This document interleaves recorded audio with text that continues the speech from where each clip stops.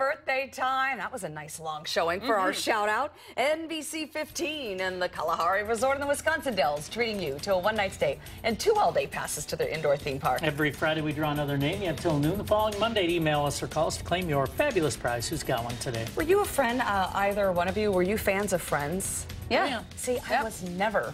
But David Schwimmer, 49 okay. years old, uh, who did he Ross. play? Ross, okay. That is how out of it I am. Because I am more of the Marie Antoinette genre. No. she was born on this day in 1755, beheaded by the French who blamed her for their woes. Let them eat cake.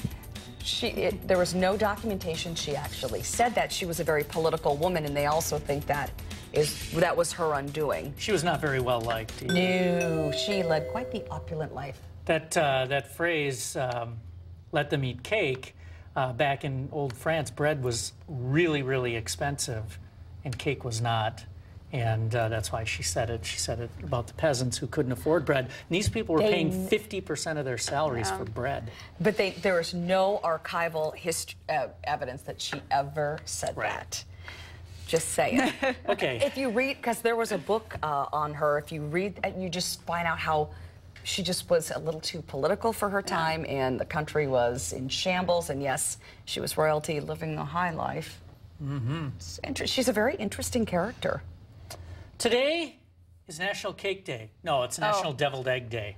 Well, wouldn't it be nice exact if it was cake opposite. day? I like deviled eggs. Deviled egg, yeah. 1880... You haven't had one in a while on the morning show. I Thankfully. know. Your hard-boiled eggs. My hard-boiled eggs.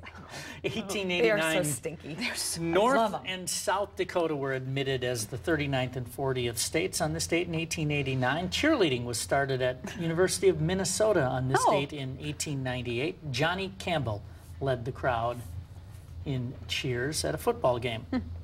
uh, high definition TV made its debut on this date. Its world uh, debut in 1936. High definition TV was defined as 200 lines back oh, then. okay. I was like, what? we do 1080 now. yeah. I'm like, okay, there's got to be some punchline coming. Yes, bring it down moment. Quiz show scandal 21.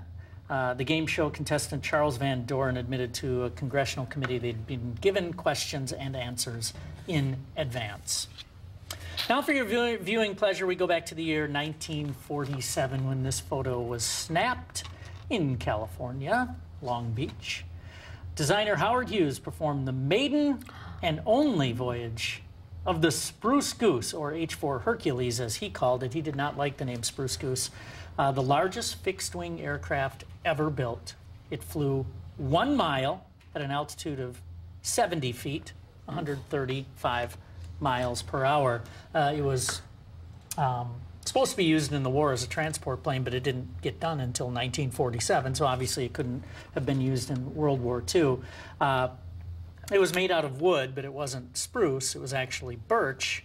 And incidentally, the specialized wood veneer was made by Roddis Manufacturing of Marshfield, Wisconsin. Ah, local tie. And then sent off to Long Beach. And uh, it was in a big hangar there uh, on some pier in Long Beach, which is now used, that same hangar is used as a Carnival Cruise Line hmm. uh, hangar for the, the uh, ships. So there you have it. If you want to go see it, it's in McMinnville, Oregon right now in a museum.